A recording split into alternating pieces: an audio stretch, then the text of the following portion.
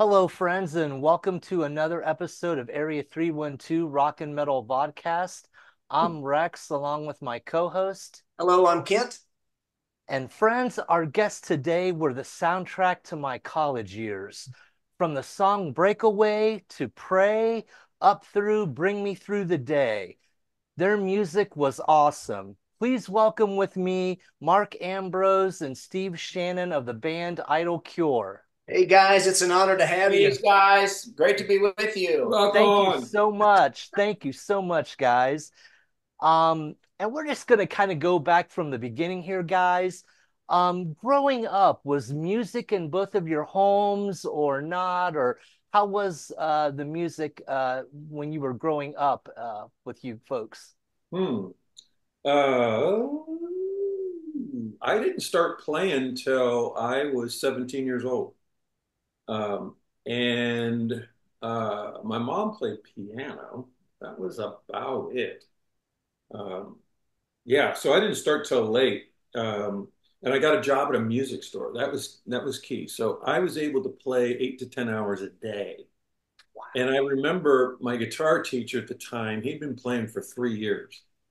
And I thought, he can do it, I can do it. Because I always thought, you know, you got to start when you're four years old. You play Mary Had a Little Lamb. You got to read notes and do all that. And so I went, I just learned how to play. I couldn't read. I still to this day can't read music. Um, but within three years, I was a guitar instructor. So I just played every day and loved it. So not really growing up, it wasn't the major influence in the house like you typically hear. How about you, Steve?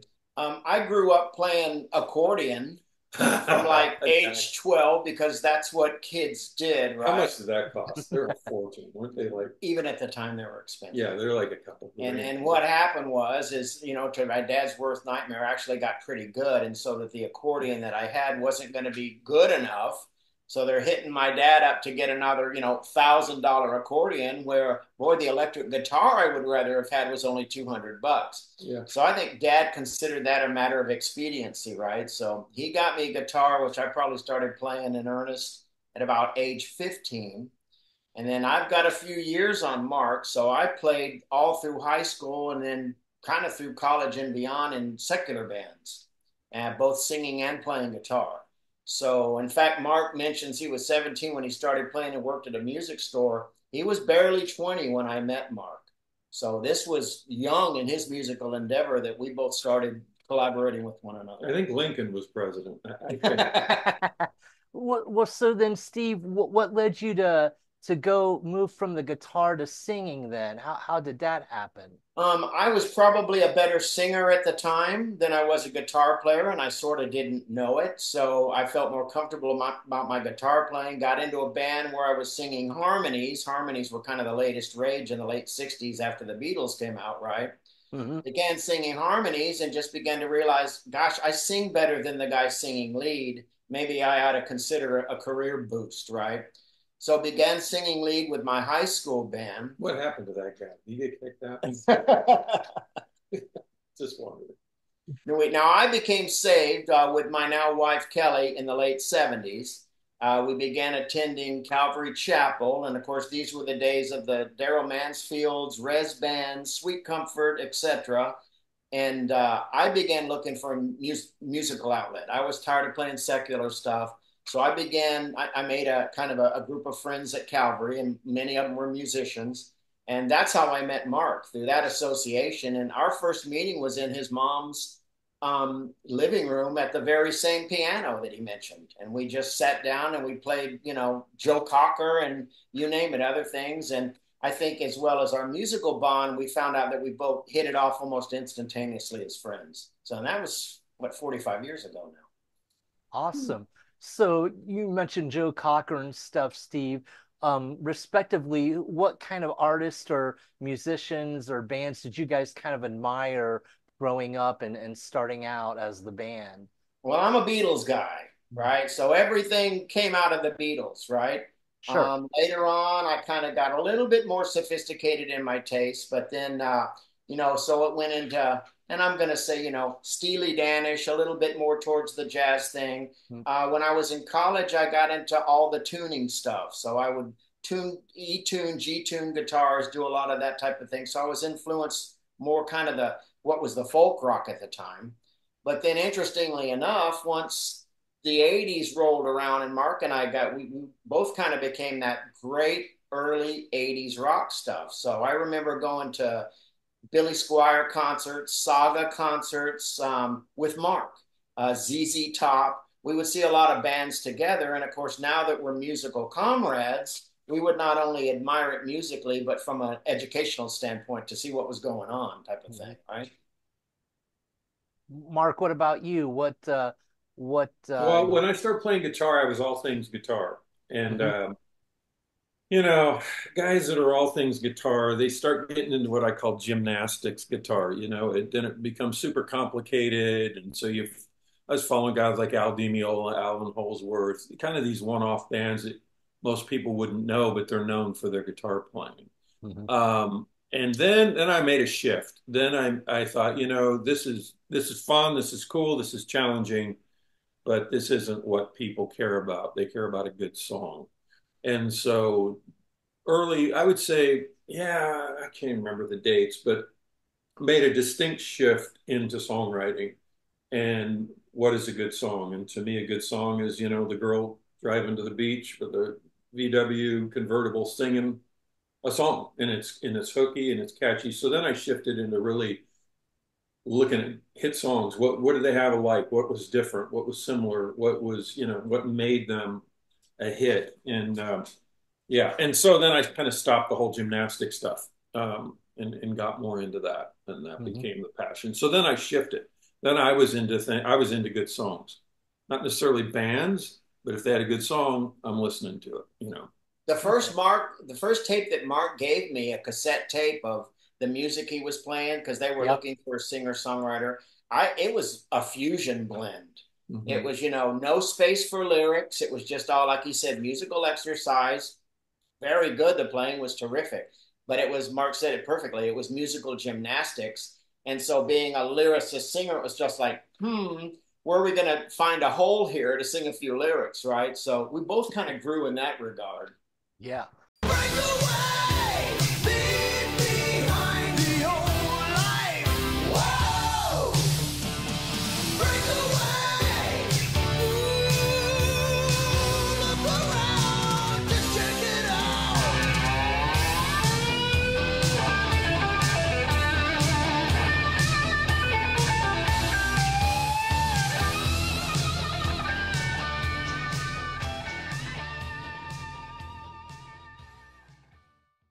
And Steve, you kind of alluded to this earlier, but I'm going to ask both of you if you could kind of tell me how did your journey with Christ begin?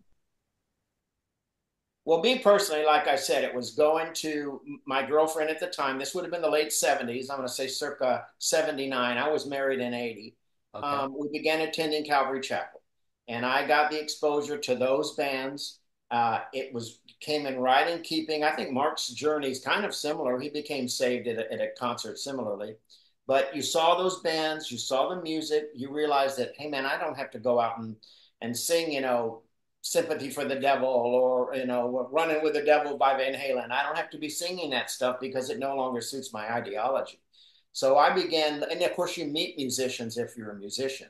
So I literally began talking to, visiting with, um, Chuck King was another person that was in that circle.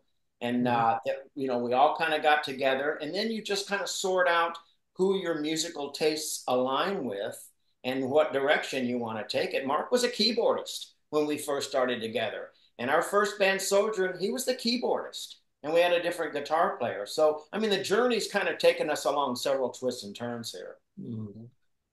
Yeah, you're triggering a memory. This is a lot of memory. Steve's got a great memory, by the way. That's why it's good he's here, because he'll help me.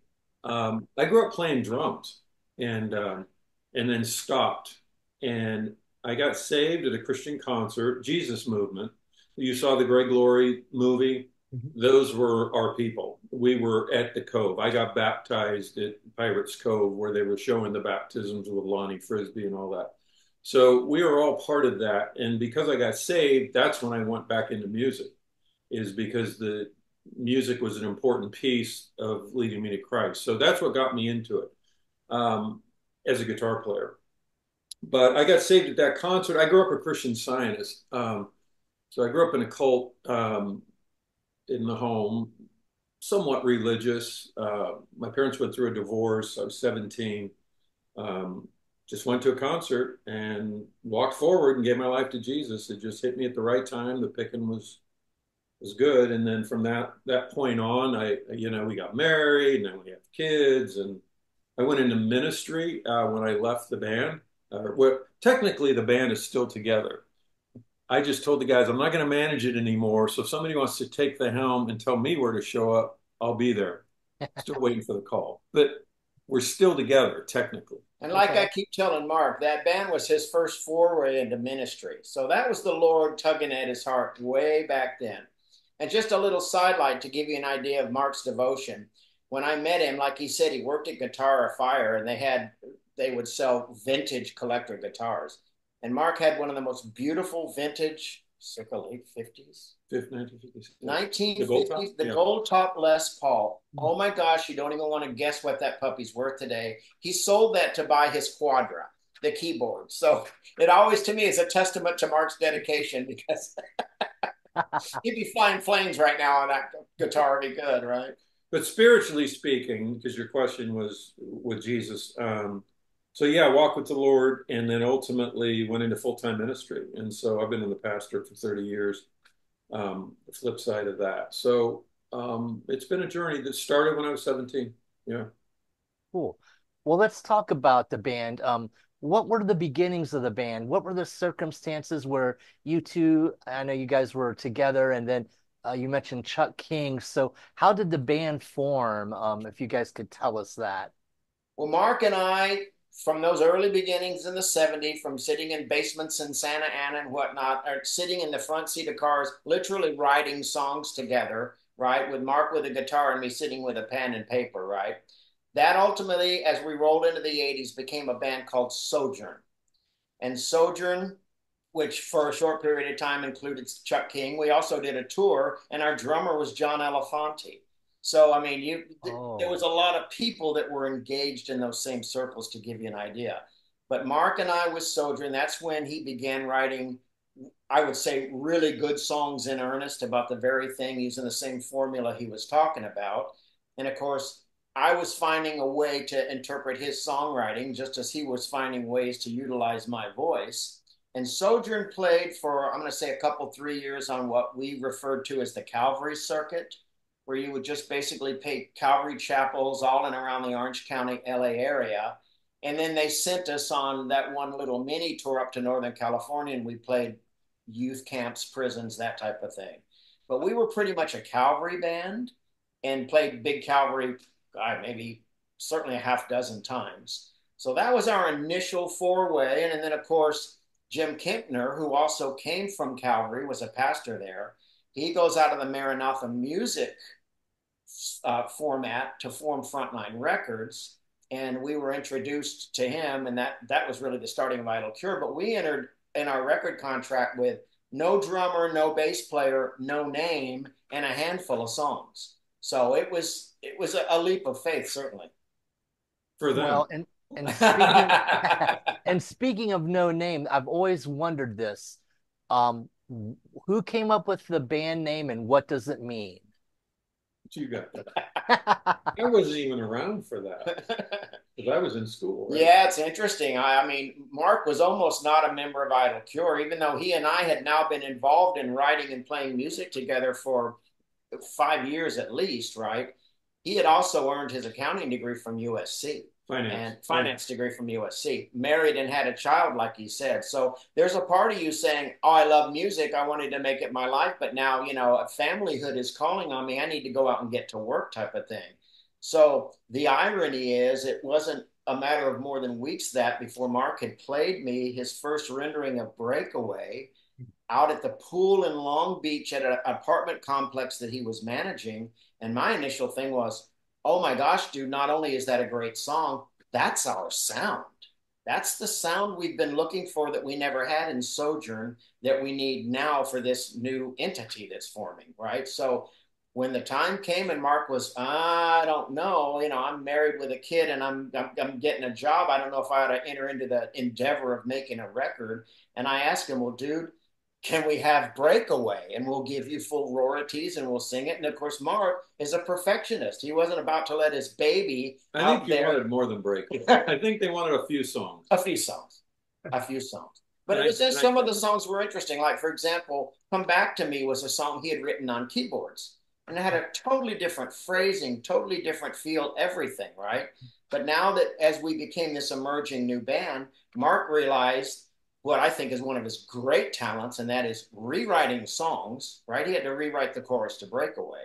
But Mark rewrote Come Back to Me. After Breakaway, it's probably my favorite song off the first disc. And it, it there again, it's so different. It's got that lazy, isolated, lonely guitar. And we found out that that was a really good playground for me vocally. So, you know, that's kind of how you begin to massage what is going to be the end result into what you want it to be. there it is. Why we look young. Yeah. young people there.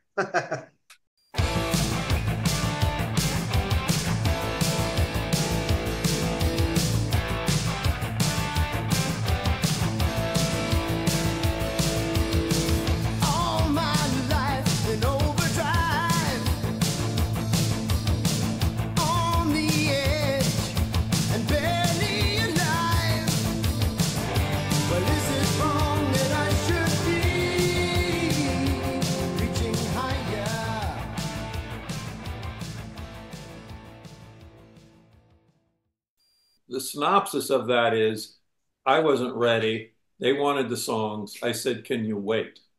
Because I was graduating, I think, in like three, yeah, three yeah, months. And yeah. so they waited. And so then, but um, the name. The How did we get the name? I don't care. Oh, I'm sorry. So anyway, okay. so we go into Frontline. They like um, so we we had a two song demo. One of those demos was "Come Alive," the song from the first CD and we're oh, it's great. We love the stuff, super great. What are you guys' names? And we didn't know. We didn't know. So Frontline had a very aggressive, very clever marketing team. And they knew that since we weren't going to be a touring band, that they were going to have to flood airwaves. So they said, hey, here's what we'll do. Let's have a contest.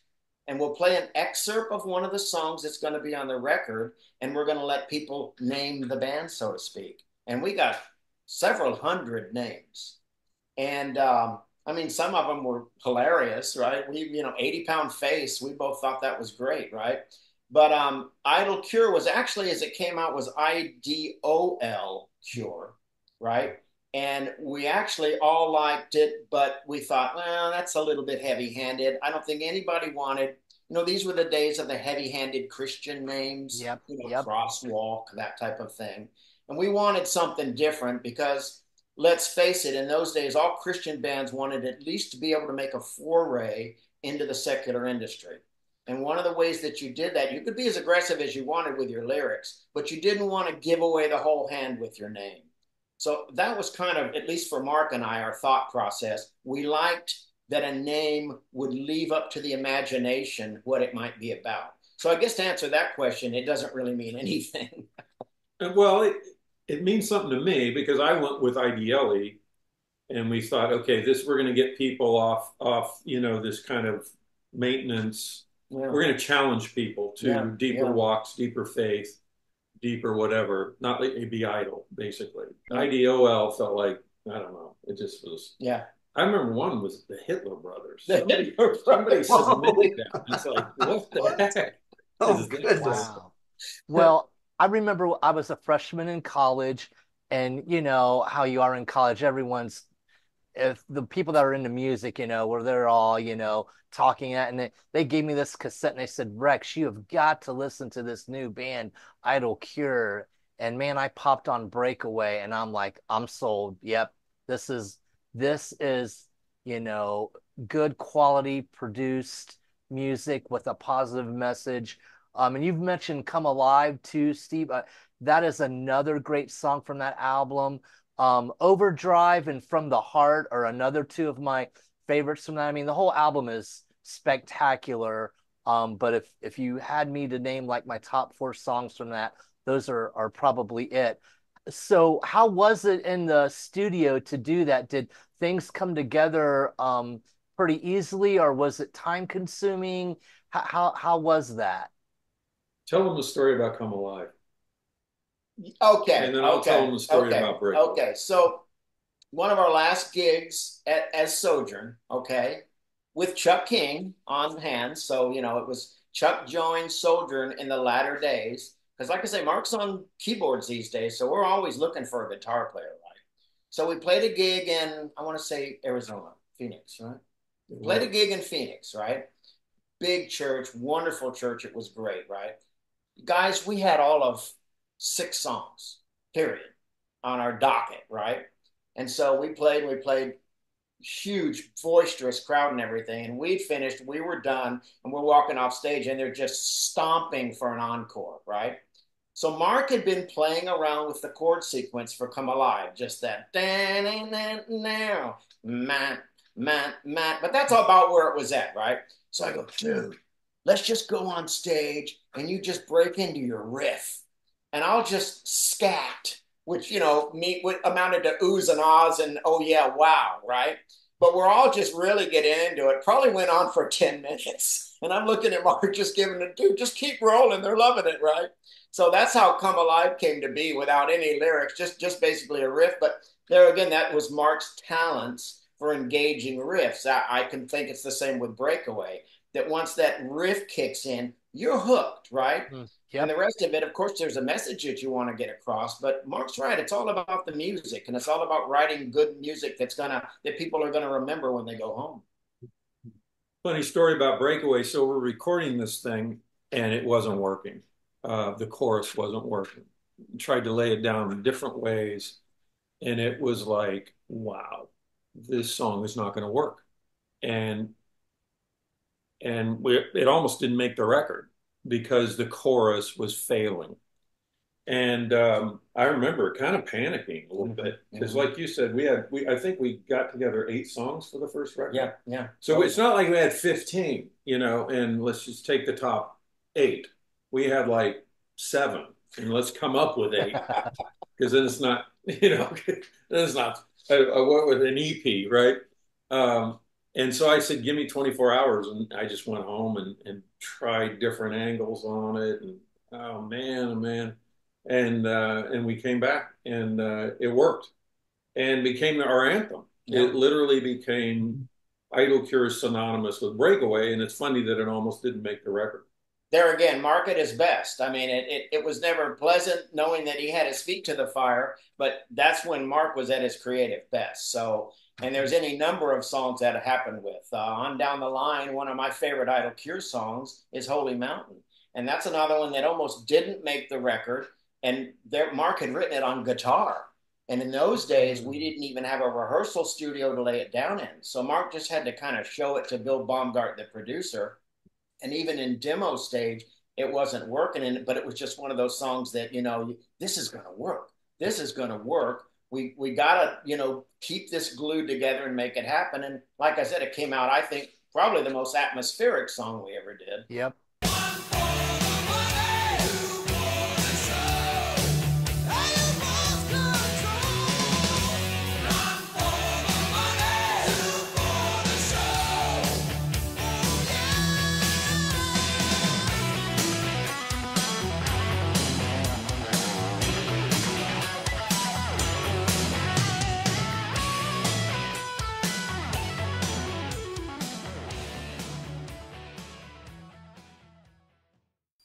Well, then in 1988, your second album, Tough Love, is released, and it starts out with another great opening song, Just Believe It.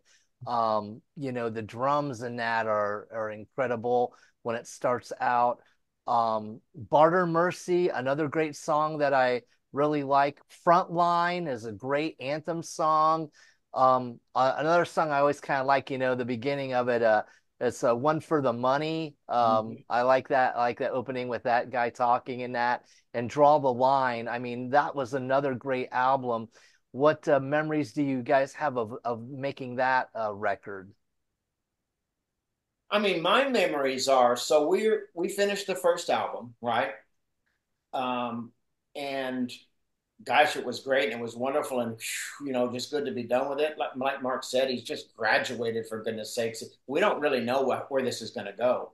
Well, not only does Breakaway become our anthem, but Breakaway is being played on all right. They don't have Christian stations in Germany. So Breakaway is being played on the radio after the Scorpions, right? So we're just getting massive airplay in Europe. And I get a call that winter. The, the album's only been out of two, two, three months. We get a call that winter from Eddie Huff, who became our dear friend and who kind of sponsored us in Europe. And he said, He was a road manager. He was a road manager. He said, You guys have got to come to Europe.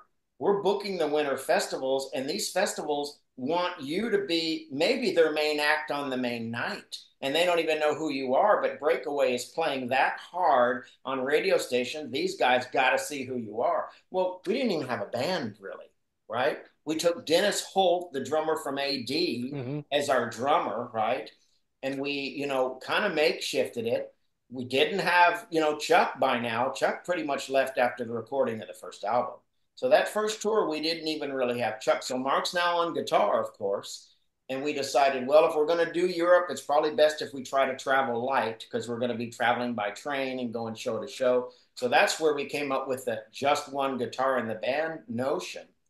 Now, my memories are is that we were already, Frontline, of course, is already pushing for material for the second record. So I would always tease Mark, dude, no problem. We're going to be on an airplane for 16 hours. We'll write songs on the plane, right?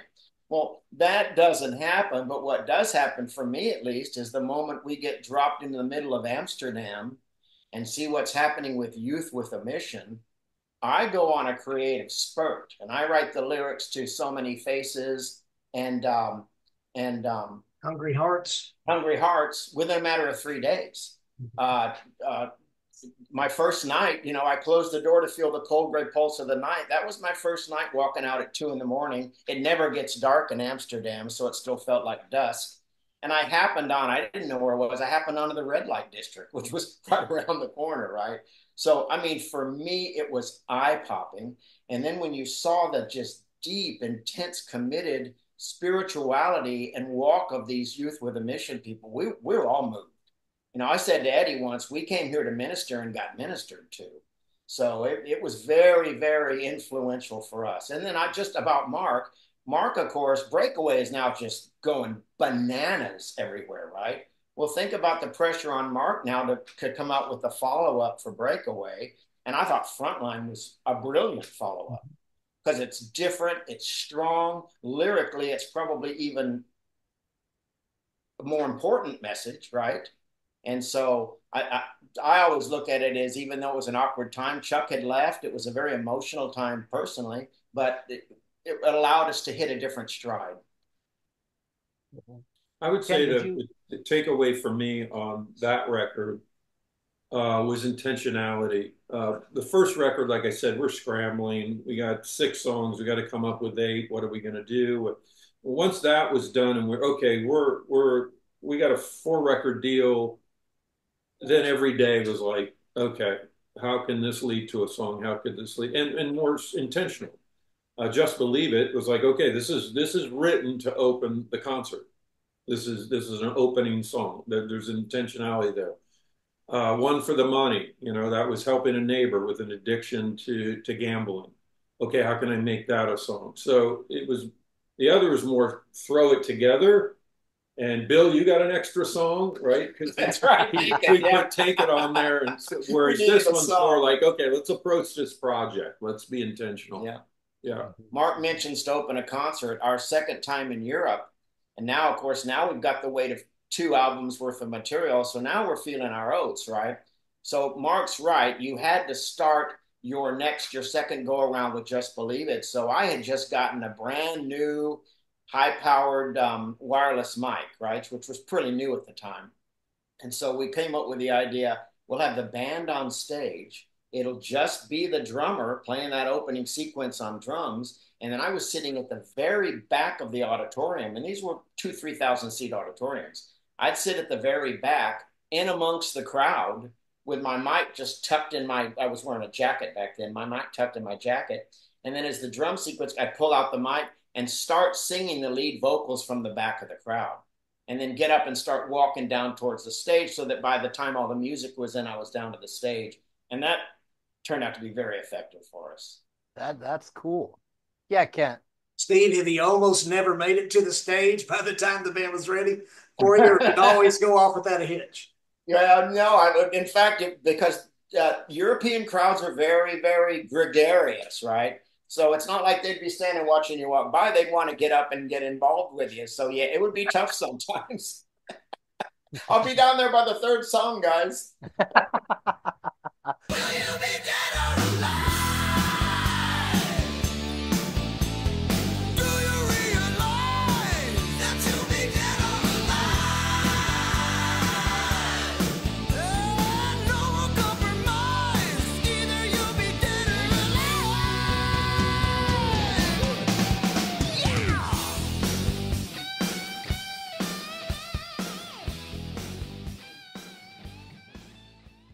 Well, then, um, your third album, Second Avenue, was released in 1990, and for me, I, I'm I'm just gonna say it's probably my if I had to pick a favorite, that's my favorite Idle Cure album. I think you guys really hit your stride on that. I agree, Rex.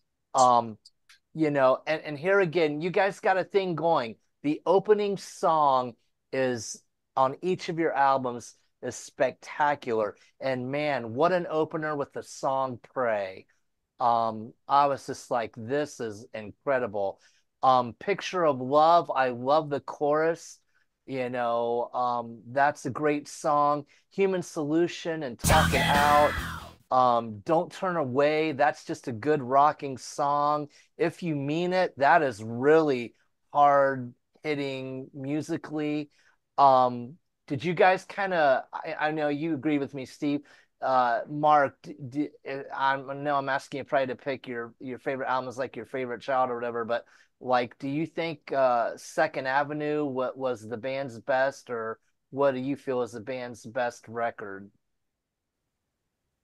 Ooh, I'm like I said, I'm more of a song guy, um, you know, and I think they all sure. have their strengths, and you know, there's some weaknesses too on on all of them, but um, Pray was an interesting song because it charted better than Breakaway. Really? Yeah. In fact, they called us to come. Remember to it was nominated for a Dove Award. Yeah, GMA and do all that. We never got that kind of recognition.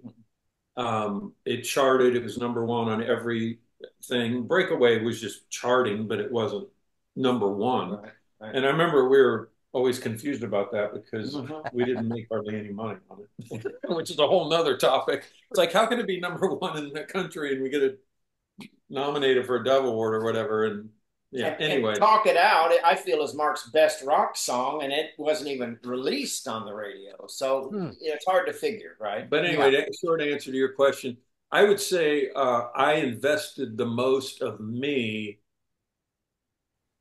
into it out.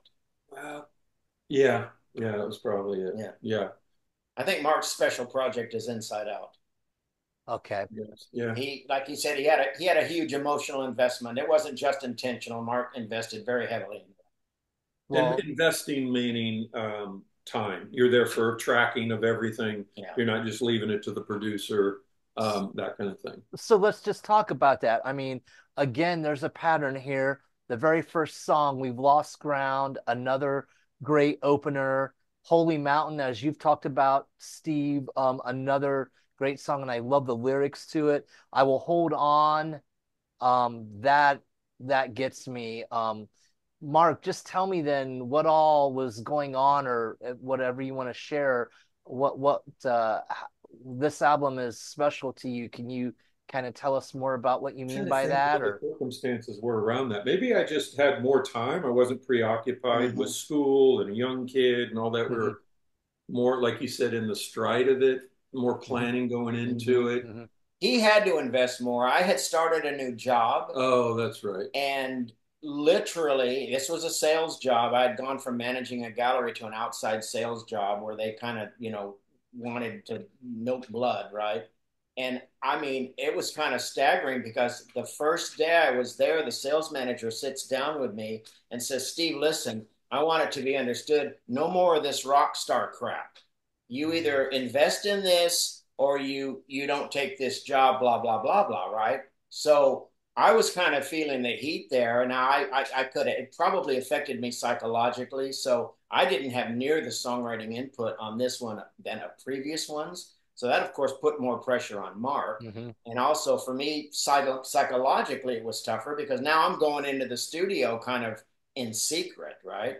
I mean, the thing, and I know it's been brought up a long time, but we all kept our day jobs because we didn't want our ministry in, in the early days. There were too many bands, you know, unless you were Stryper or Petra or Whiteheart, you, man, you were struggling out there on the road, right? Mm-hmm. And you'd hear reports of bands calling up record companies saying uh, the bus got a flat tire and we don't have money for a new tire. You know, can and we didn't. It wasn't that we didn't want to go live the hard, struggling musician life. It was that since it was a ministry, we did not want to let those elements of the ministry have to affect what we were getting across. And so that way, it kind of kept it free and clear of having such mundane things as you know paying bills. Yeah. So so like, you know, from like 90 and 91 like um how how much touring did you do then since you guys had jobs? Were you doing very much touring or were you kind of just like a, a studio band per se? No, we we we pretty much fell into a rhythm of a European tour every record. Um and fly dates. And yeah, and weekend yep, okay. fly dates. Mostly festivals. Okay. Okay. And then, of course, you had the amusement park gigs here at our end mm-hmm. uh, Magic Mountain, Disneyland, Knott's Berry Farm, all around New Year's, all, all that we could drive to in a couple hours, right? Okay. And, and great exposure. So we we took advantage of those wherever we could. And to Steve's point, we weren't under the pressure. A lot of bands during that day, you pay, we'll play. Mm-hmm. Um, it had to make sense. Yeah. You know, from a from a impact standpoint, from a, a, size standpoint. So, like you said, we would do more of the high profile festivals and those kind of things. Um, weren't against the other, but we didn't have the pressures of money. Um, so that helped a lot. Mm-hmm. Well, and it sounds like you must have had a pretty large fan base over in Europe, then I presume, if you toured for every album there. Now, when I say toured, two weeks, three weeks, so it wasn't a three month, six month tour mm-hmm. just to qualify. But we would go over there, and within three weeks, we'd probably play at least every other day. Yeah, yeah. Um, okay. And those were the smaller gigs, but those were non Christian gigs. Right. So it wasn't Christian festival world. There was a couple, but for the most part, we're playing packed out bars, smoke everywhere, 2,000 people and they're all singing your song and you can't speak, speak the same language. Yeah. So it was a very different, so you had to have an interpreter if you're going to talk or share. And so it was very interesting. Yeah, the Europe gigs were fascinating because you, you'd have, say, a Flevo festival, which would have 15 to 20,000 people. And you'd think, well, that was the big hurrah. Now we're going to do a little, you know, I mean, we did the occasional air base too, but yep. your typical gig in Europe would be these, uh, these auditoriums that are like basketball kind of little mini stadium sort of things, right? Mm-hmm. Man, Mark, like Mark said, they would pack that to the brim up to the top of the bleachers with 2,500, 3,000 feet, and, and you're all in an enclosed gymnasium. It was raucous. I mean, it was just the boom, boom, boom, boom. And of course, I fell in love with those European subwoofer based sound systems. Sure. They would just kick butt. you could just, man, and we have Dave Jansen in those days, and he would just ramp up the low end. So you could just hear that room just pulsating.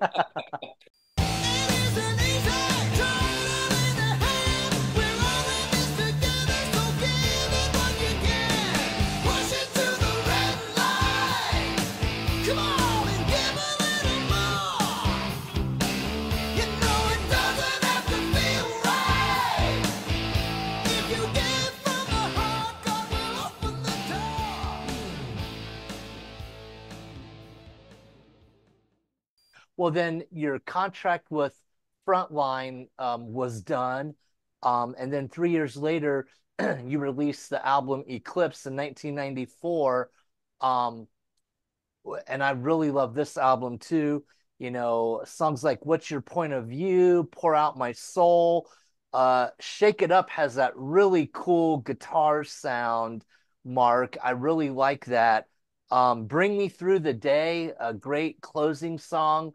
Um, any thoughts about making that record or how that came to be with going on a different label? Uh, was it after? It was after the fourth record with with. Um, yeah, the big difference there was working with Billy Smiley instead of Bill Baumgart. Okay. See, he had a completely different approach. Uh, Bill Baumgart, at least from a vocal standpoint, was very, very, very coachy, hands-on, right? And I loved that because Bill helped me become a better singer. Billy Smiley is dude just go in there and sing. We'll catch it on tape and fix any oops in the mix, right? Billy mm-hmm. was a let it flow kind of guy, right? Okay. And uh, I mean, I like that as well too. You know, I, I, remember when Bill Baumgart heard the last record, and Mark asked him, "Well, what did you think?" And he says, "Well, Steve sounds a little rushed, right?" Which was not a, a backhand. It's just Bill was saying, I'd have taken more time on some of these parts and gotten maybe a more technically perfect performance and at the risk of losing a little of the feeling. So for me, there was that difference and it was substantial. Just for the record, there were no tuners back then. Yeah. so also the relationships on that record. So when we finished with Frontline, um, Star Song approached us and they had just lost Petra and they wanted us to fill their slots. Okay. So they flew out and we flirted with that, talked that through. And when we realized how many dates, they wanted like what? 150 a year? Yeah, something like that. wanted that. 150 dates yeah. a year. And so, you know, that's the dates. That's not counting travel. So, you know, we're like, okay, should we quit our jobs? Should we not? And, you know, and it's, it felt like a call, kind of a call to missions work. You know, when you're gone that lot, this isn't and then you know you got kids and you're not seeing your kids or if you bring them on the road then that's complicated. So we passed basically. And by then we'd settled into a pretty comfortable uh, sense of where I, our identity was right? right. It's like well we're happy selling 150000 of every single unit and being able to go to europe and still having festivals that want us. And that now by now that works into our framework just fine. You know we don't we don't need to go out and be rock stars. We're happy sure. just having our own ministry. And so we didn't have a record deal at the time. And so we've heard the name Eddie. Um, Eddie and one or two other guys formed Salt Records. And so we were obviously had the relationship. Let's do a record. We'd gotten to know Whiteheart really good because we did tours with them. And so that's when we approached Billy. Mm-hmm. Uh, by then, Bill had moved, relocated to Nashville. Mm-hmm. Uh, so yeah, it was a relational record. Yeah. Mm-hmm. Everybody's in Nashville. Yeah. You know, that's what makes it difficult for Christian artists in California. Everybody's Correct. in Nashville. So there was always the thing, gosh, I don't care if you move to Nashville, you, you'd have it made. And like, but like Mark said, that meant changing everything. And by now we all have homes kind of thing, right? So yeah. there was a lot to consider in making that leap. And Mark would always say, dude, really realistically, it's 1990. How much longer are we going to be able to do this? And sure enough, with the advent of Nirvana and grunge, the landscape changes, right?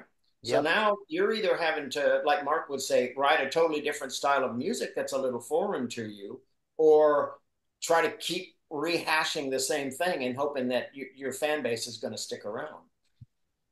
So, are those kind of the two reasons right there that that was the last Idle Cure album, the living in California and the musical landscape changing so drastically? No, uh, I don't think so. Mm-mm. I think um, it was like I said earlier when we started. I don't. I don't know. Was this before we're doing our interview? That um, my situation changed um, is getting very stressful to, um, you know, fly out on Friday night, play a Saturday night concert, come home on Sunday, pick up a briefcase, and go to work, you know, Monday morning. And it got to the point where, you know, I'm preaching the gospel or sharing something on the stage somewhere, and my marriage is struggling, or my family is, isn't seeing me. It's like, you know what, this this isn't sustainable. Um, so I'm going to tuck back and um, that's when I jokingly said, "You guys can keep it going. Just tell me where to show up. So I don't think we never volitionally said, okay, we're done. This is it. This is our last record. This is our last gig. Swan song. Let's go. It just kind of faded. And Mhm. probably everybody else was getting a little busy. And like I said, we didn't need it for the money. So there wasn't that constantly push like, hey, we're dying. We got to get a tour together. We got to write another record. Um, it was hard. It was hard. You'd be in the studio till 3 a.m. and then come home and get two hours sleep and three hours sleep and go to work. Yeah. Um, so we we talk about it provided that it didn't have the pressure of money, but it had the pressure of time. Yeah. Yeah. Um, because you know you got an agent, he wants to book you, a booking agent, and you know he makes money when you go, and so how much attention are you going to get of him if you limit him to six gigs a year in their festivals, right? And so there was that tension. Like I need a touring band because I can get you tours, but you guys won't go.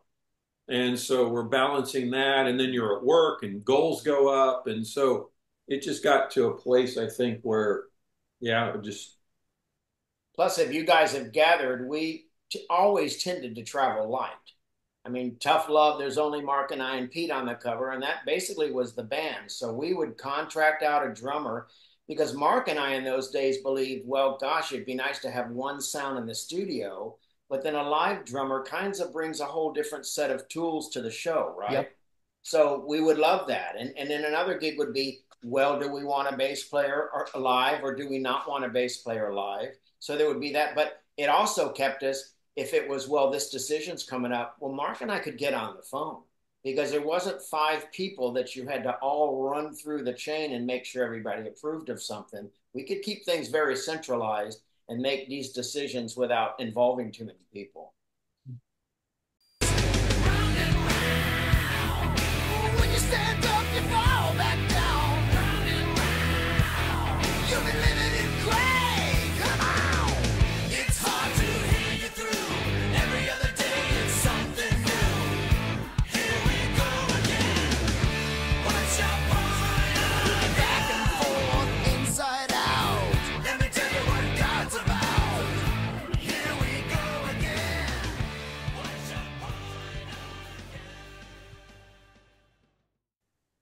Mark, since you brought this up, I'm gonna ask this question. I'm sure you guys get this all the time. Okay, so we're, we're probably never gonna see Idle Cure um, in concert possibly ever, but like, what about some new studio material? Even like, say, a a five or four song EP. Do do we think there's any chance that we'll ever see any new Idle Cure music? um, Mark's going to be retiring soon. No, so, so- I'm going to keep hitting him yeah, up. maybe. maybe. um, we we union thing. We flirted with all that. We watched Petra try it. We watched uh, Petra and Whiteheart try it. Um, unfortunately, in Christian music, unlike just everyday music, you know, you don't have an oldies station. Um, you do in what Steve would call secular um, music. Uh, you have oldie stations, retro stations. There's still an audience for that. You don't have that in Christian music. And again, to put the band together, to rehearse the band has overhead. Um, and there's money that's involved. And you don't just record, uh, that costs money. So guys do GoFundMe and all that kind of stuff. But at the end of the day, you know, the Petras, the Whitehearts, who were arguably more more popular than we were and had more gigs under their belt, i.e., more of a following, couldn't make it work.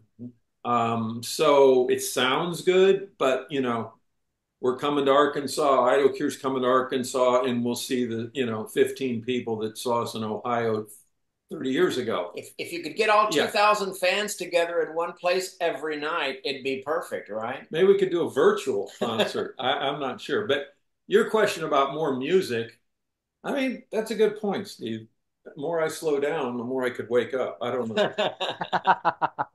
But Well, see, just just a Mark's thought, a you know, guy like- that Mark's not going to be content to go out and write another breakaway, uh, you know, Right, 2025 breakaway. Mike, Right. Mark's going to want to bring all of the experience that every we've all lived in between, right? And bring that into a new kind of format, a new song that's still a vital Cure, but that you know brings something new that's worth listening to. So I know he would take that to the table when he sat down putting pen to the paper. Well, and I got a resource. My son's an MD uh, in LA in the music business, and uh, so he would definitely help he us. would help us. Yeah. So But maybe maybe Rex. It's interesting. I just saw a, a post by Michael Sweet saying that he's not sure if Stryper can keep touring out there because touring's become so expensive.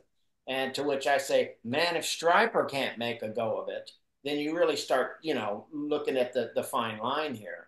I just noticed there's a new festival coming up, and, and it, it amazes me. There's still quite a few of the Christian festivals, but it takes a lot of bands these days to make a festival happen and get the right amount of people there, right? hmm You used to could do an ichthus and you could do three, four bands a day and have it for a whole weekend. And now, man, you need to put 15 bands on stage in three days to get the crowd there. So it's tougher. It's a tougher crowd. from a business perspective, yeah, Yeah. it's tougher. Kent, you had a question? Well, I was just going to make mention, you know, Mark and Steve, of course, old season pros there. Um, but in this day and age, it's, you know, people can record and have a have really good quality product just through home recordings with modern technology. Yeah. I just wanted to make mention, you know, Steve and Mark, you guys are still very much revered and loved and appreciated. Your music was top notch quality. I really feel like there is a fan base to at least want to purchase some new product from you guys. If you guys could maybe do that. Yeah. No, it, and it's the industry's changed. Um, Yes. not only from a business standpoint, um, and again, I know this through my son. Artists don't make any money for the most part, unless you're maybe Katy Perry or somebody, you know, uh, Swift. Um, they don't make money on downloads. They don't make money on people buying their records. They make money on touring. So, but it costs still, you know, even though you got in-home studios and all that, you gotta you gotta have the right people to run them. We're not that. So it's it would be a thing to put together. It wouldn't it would be harder, not easier. Yeah. Yeah. Um, and but it's not out of the question. Who knows? One of the things that we got spoiled by is even though we rarely had any money for a budget, that first album was made on $18,000 budget.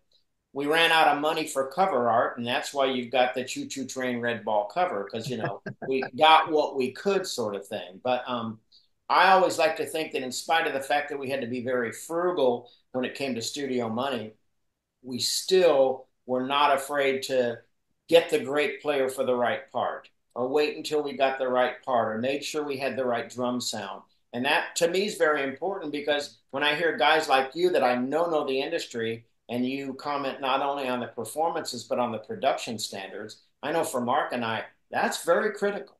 That man, the fact that you don't have a lot of money doesn't mean you don't strive for a high production level. You mm-hmm. you, you got to go for it, right? Yeah, well, and I'm telling you, like your albums, you know, to me, you could put them right up with the Def Leppards Mm. of the day and all of those other bands. Production wise, uh, Steve, it was top notch. I mean, it really was. You were not embarrassed to play this in front of your non-Christian friends, and they'd be like, "Well, that sounds like junk. What in the world is that?" You know, it. See, You didn't key to get me that. that, that you say that. Yeah. It- it's funny you mentioned that because we actually checked in and to see if, if Mutt Lange would produce a song um, on Idle Cure because we saw what he did with Def Leppard, we saw what he did with Bryan Adams, we saw what he did with Mhm. Foreigner, um, and one song would have been our whole budget. Yeah. Oh, wow. We- We found out we couldn't even afford Brown Bannister, so you know. But uh, you should mention Def Leppard. I, I will say that when we went into the studio and background vocals became key, especially once I could enlist the services of Bob Carlisle, right? That Mhm. Def Leppard, in terms of background vocals, was the standard. You know, that was the standard. That's I won't say we achieved that, but that was certainly what was in our head going in when we said, "All right, what do you want?" Mhm. Yeah, I remember. I remember listening to that record on a train in in Europe. We were Yeah. on, we were on tour, and I remember hearing "Photograph" and go, "Wow, You know, just like everybody has those moments. I, you probably remember when you heard the first Van Halen cut, and you said, "Who plays like that?" Yeah. Right? It was, one of those moments. Yeah, Mhm. You because early? Def Leppard is Yeah. not like you would think. No.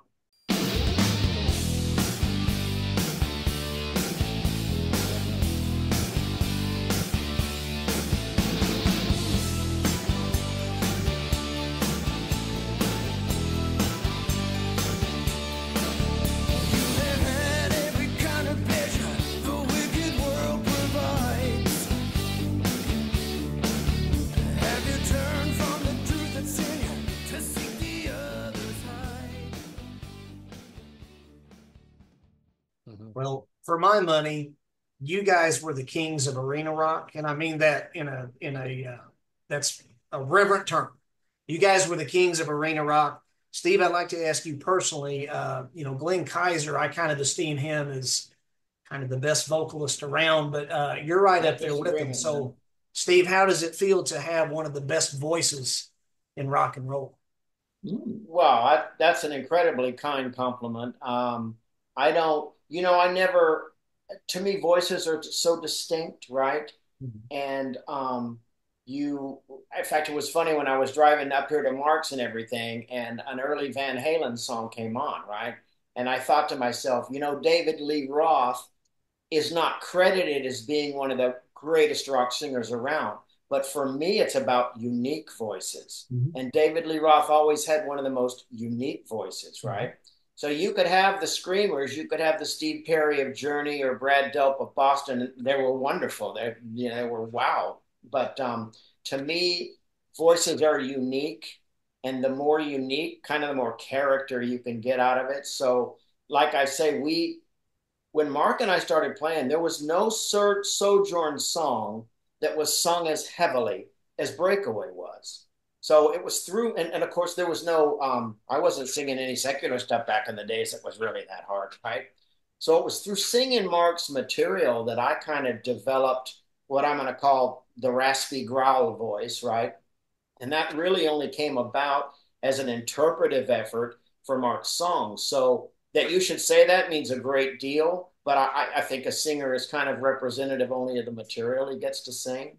I got an interesting story about Glenn Kaiser. We were playing in Hold that, hold that story real Mhm. quick. Let me, since we're on Steve, he his tenacity in the studio was unparalleled, and and the reason I say that is today, you know, when a, when a vocalist goes in, they lay down a track and then they auto tune them. It's just part of the deal. When they play live concerts, they auto tune. Um, you know, worship teams at, at our churches are auto tuned. Um, we didn't have auto tune then. And so it either sounded good or it sounded bad. And if it was bad, then do it again until it sounds good. And so it was so taxing that literally, I mean, I think maybe one song, maybe two, you would track in one day, primarily one. We'd have to space them out yeah because it was so rigorous in terms of uh, of the, like you said, the hard driving. That wears the vocals out, and you know, It was also the reason that it was such a relief to get in help on the background vocals because, of course, you would want to do the leads before you lay down the backing tracks. But if you're investing that hard and heavy, because I mean, none of these vocals were sung softly except for the ballads, right? But um, you know, you needed some help on those backgrounds because now you're starting to really, really wear the, the tread thin on the tires, you know. But we were playing in in the middle of winter. It was cold, and we were in Germany and I was getting a sore throat, right? And Mark, bless his heart, everywhere we went, he'd make sure I had on my scarf. Said, "Dude, you can't get sick. You can't get sick, right? You got to protect your voice, right?" So we were going in, and I was looking around, and in walks Glenn Kaiser. They were playing the same concert we were playing that night. In fact, I think they were opening for us, right? I can't remember. And, uh, We did a anyway, tour with them. So we were backstage. They had just finished their set when we were backstage getting ready to go on. This was our first tour in front of big crowds, and pretty much within a handful of our first gigs, period, right? And Glenn Kaiser walks into the dressing room and says, Hi! And he just screams it out in there, right? Perfect pitch, just perfect and everything. We all started cracking up. And I was talking to him and I laughed. I said, I got a little bit of a sore throat. He says, Dude, I got just the thing. And he pulls out this little packet. It was called Fisherman's Friend, right? And it was these cough drops. And oh my gosh, it was like he would just put sheer menthol on the back of your throat. These things were Couldn't so intense, thing. couldn't feel a thing. Right? And Glenn says, I swear by him, I can't live without him, right? Yeah. Man, I, I was never without those things on another tour, especially in winter. So yeah, we, we had great memories of playing with them. There were there were bands that were great musicians that we respected. Mark and I always highly respected Whiteheart. Uh, we would catch their shows whenever we could at festivals we were playing. And Rez Band was one of those in- bands that you just you just fed off their energy because it was so sensational, and the interplay between uh, Glenn and Wendi was just remarkable. So yeah, there were bands that were good players that you'd watch, and then there were bands that were fun that you got to know and, and really got close to. Mhm. Mhm. Well, oh, go ahead, Kent. Well, just like just like Glenn, you know, Steve, Glenn, you guys not only have the rasp, you have the range too, and it's just a winning combination. I'd like to ask really quick, just my my first introduction to you guys was actually the Tough Love album. I still remember picking up the tape in in '88, sitting there while my mom and grandma were in. They went into Kroger, and I'm listening for the first time to Idle Cure, and I became a fan. So um, I would like to ask, and forgive me because sometimes, you know, Steve and Mark, sometimes you all you know about an artist for 20 plus years is what you see. So I don't know if I'm pronouncing Pete's last name right. Is it Lomakin? Lamakin. Lomakin. So so there you go. So so I'm learning Pete Lomakin, and then um, you know Clark Edmond. Um, you know he came on board with uh, Second Avenue as the drummer. So I'm just curious as to I think you know Pete was there from the first album, but when did Pete come into the fold? And then when did Clark officially come into the fold as the drummer? So that last gig as Sojourn did not include Pete. So Pete was literally added in that interim period between when Sojourn ended and the genesis for Idle Cure happened, right? Um, to be honest with you, Side note, he said many times I played keyboards. The only reason I played keyboards is we could never find a keyboardist. Right. And so I think we were looking, We were I don't looking. remember how we entered. How did we meet? Pete? I, I don't recall. I don't either. I think we met him through a friend and friend, you know, whatever. But they always knew we were looking for a keyboard. player. It seems to me that Chuck knew Pete, so I'm going to guess that the introduction was through Chuck, because Chuck had Chuck always kind of had his own musical things, um, and he would do it with other groups and everything. And I, I think Chuck was kind of looking for the simpatico that Mark and I had shared from the beginning with somebody, um, i.e., a Ken Tamplin, not to bring, but you know, everybody wants that. And you know, you look at all good musical acts, and it seems to be there's two people that need the energy of one another to really function properly, rather. Whether it's Lennon and McCartney or Don Henley and Glenn Frey or you know, you name it. You need a that combination of people, and then they kind of both feed and challenge one another. So um, we, you know, it, that kind of was that. And then Pete came along, like Mark said, we'd long been looking for a keyboardist. Didn't really settle on a permanent drummer until Clark. And even then, I think Stevie D played drums on the second album. I can't remember. Yeah. Even then, I think Steve DiStanislao was the drummer. Now, that guy, I don't know how familiar with, we got him when he was just a kid. I think he went to Europe with us and he was barely 19 and he was already one of the best drummers in the industry. So we'd have nabbed him, but by then he was already getting his name around. And we'd, you know, we'd call him up and say, Stevie D, can you do a concert coming up? He says, Oh no, man, sorry, I'm I gotta play for Paul Anka in Vegas. He's paying me 10 grand for three nights, right? So he was already running around even as a kid doing his thing. And of course now he plays for David Gilmour, right? I mean, it's Wow. it's remarkable. He's that good Mhm. but we always made Eric Marienthal on sax is a perfect example. He was a puppy when he did those sax parts on the first album, and he's one of the most revered sax players around. So we've always been blessed with great talent who lended their abilities to our efforts and really enhanced the projects, I think. Well, where can fans connect with you guys at? Um, just kind of wondering that. I know there's a lot of fans out there. Where would be the best place that fans could you know, connect with you guys at? Facebook. That's probably the best. Facebook. I think we have an Instagram account. I used to pay attention to that a lot, but as you guys know, when you wrote me, you probably didn't get an immediate response. I don't know how long it took, but um, yeah, I would say Facebook. If it's anything with, to do with tech, it's got to be Mark, because um, I I'm absolutely tech non-savvy. Um, I, I, have become friends with a lot of fans on Facebook, just personal friends, mm-hmm. because frankly, I just can't say no. Because in my opinion, if these people 40 years later are still willing to carry the love for that music and keep that music alive, then oh my gosh, they're certainly worthy of my time. Mm-hmm. But yeah, there is an Idle Cure Facebook, and on there, there's you know videos and uh, yeah,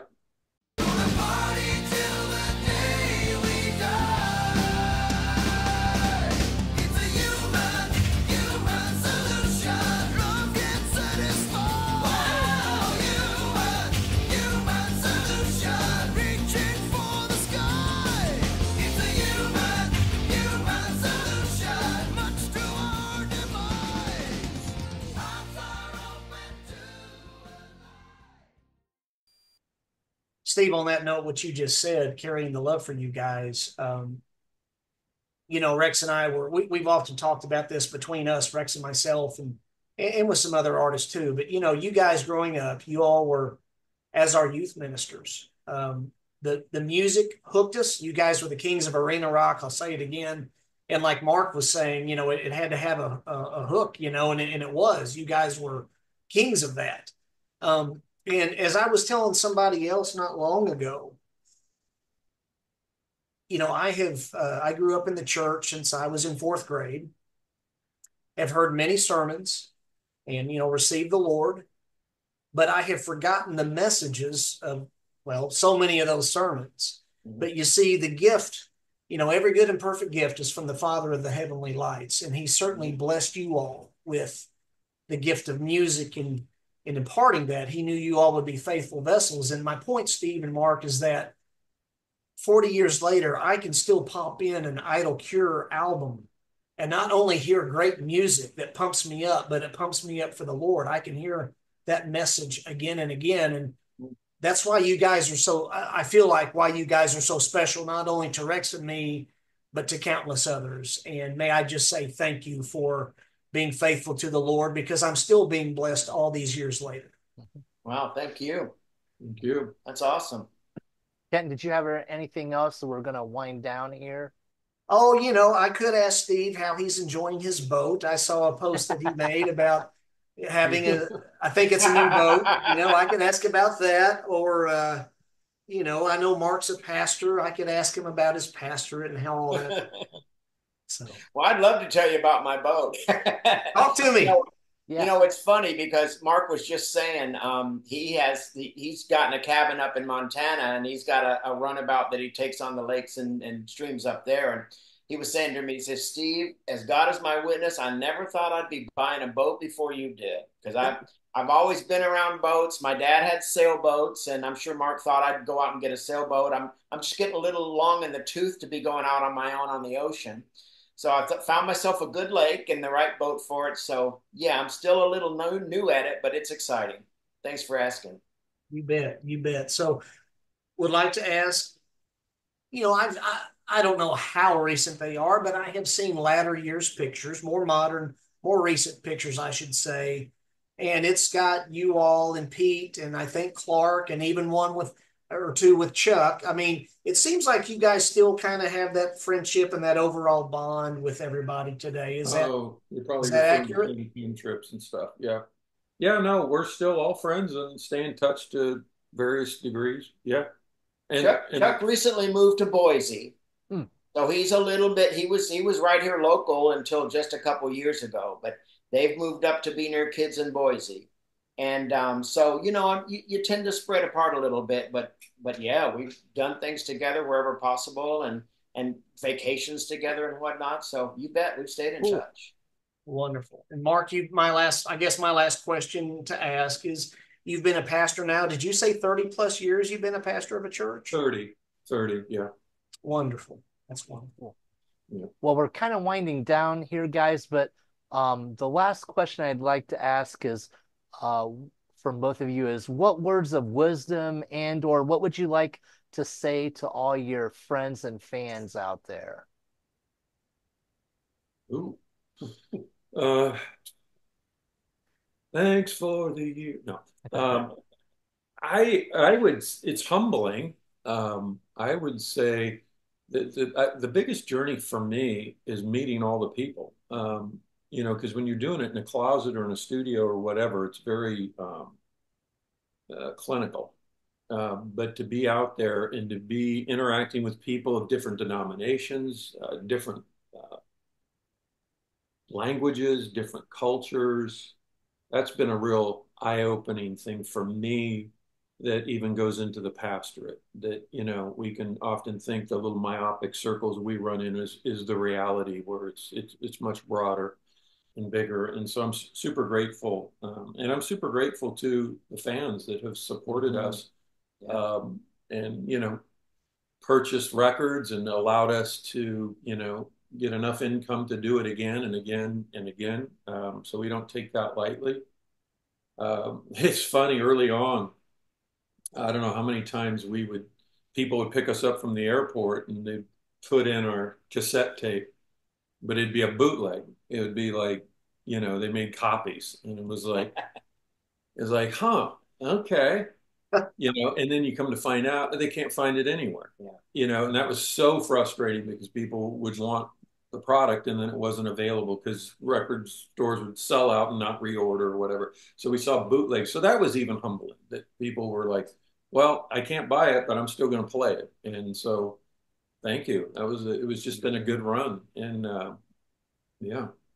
Yeah. I mean, I would say be ever faithful because I, I, you know, I, I look at Mark and I sit next to Mark here. We've been friends for 45 years.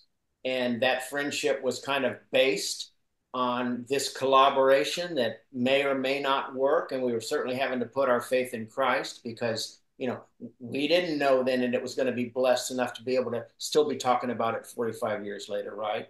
So, like Mark said, the blessing that it has been and the people that have come along the way, and what moves me are that people like you would still be so animated about it.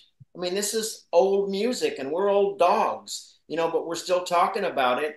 And you know i'll get on facebook all the time how your music has moved me all these years and it touches me deeply guys. It really really does.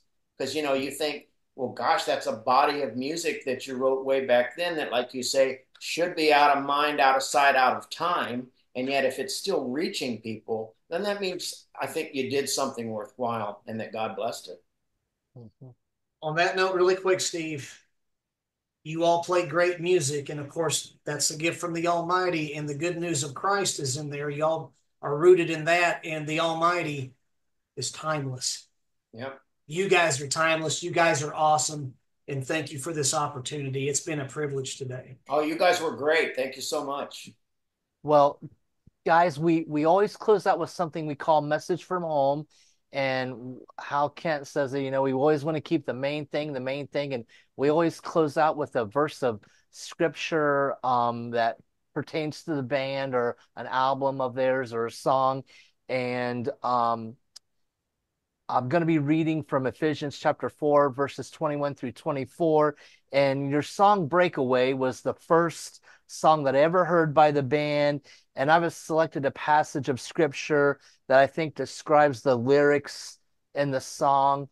And uh, the scripture reads, When you heard about Christ and were taught in him in accordance with the truth that is in Jesus, you were taught with regard to your former way of life, to put off your old self, which is being corrupted by its deceitful desires, to be made new in the attitude of your minds, and to put on the new self, created to be like God in true righteousness and holiness.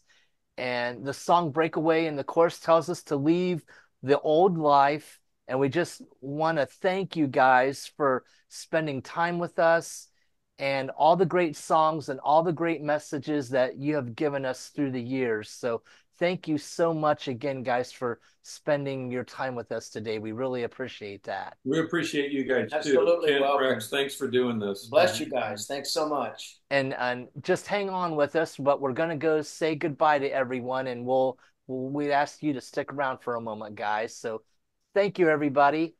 Thank you, everybody.